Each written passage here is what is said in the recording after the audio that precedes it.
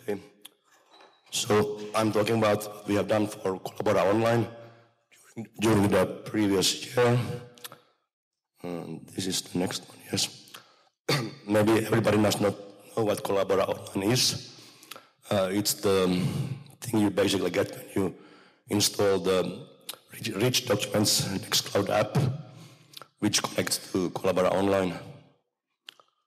Um, it's fully open source and runs on, it on, its own server or on the same, same server as, as Nextcloud, if you like. Uh, and Collabora Productivity is a company based in, in the UK, in Cambridge, but we have developers all over the world, almost. And um, by the way, we are hiring, so contact Michael when he comes here on Monday. Our release schedule has been fairly um, consistent, like one major-ish release every two months or so. And uh, 3.4 is coming up soonish. I think maybe in a few weeks or so.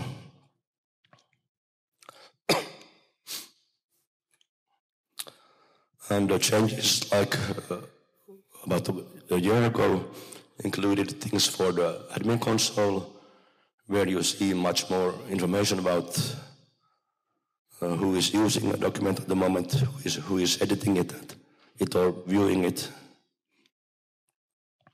And we have added stuff like editing of charts. Uh, this all seems maybe fairly small details, but many customers, these are very important features they expect from a, from a web-based office application.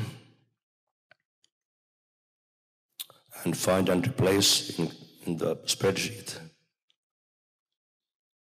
And spell checking and um, also WOPI improvements.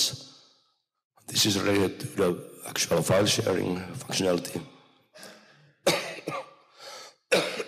so we, we can now tell or Collabora Online can now tell uh, Nextcloud whether a file was saved because it, it was uh, auto-saved or by the user and so on. And uh, in Calc, we have added data filters also. That this is also something that, something that very many customers request and cell formatting, cell border formatting is very important.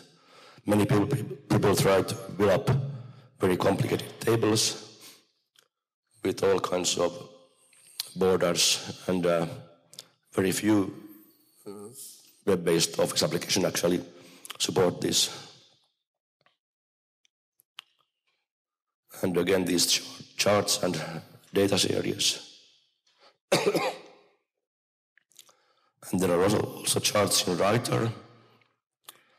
Uh, and in this case, we use the user interface inside the, the uh, rich documents application, so it looks a bit more native. And some other details. and these are improvements specific for, for the Nextcloud integration. I think especially this WebRoot things, WebRoot things has been very, uh, very requested, and it's now there in in three dot something.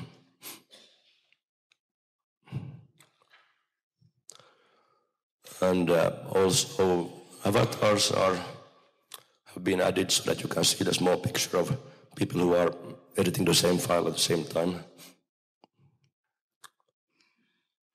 And in the upcoming Collabora Online 3.4, we have done improvements on the speed. we have reduced the number of, of uh, round trip network traffic for even trivial editing. Like we used to have, if you add, add one, one character, it made two round trips and, and other improvements also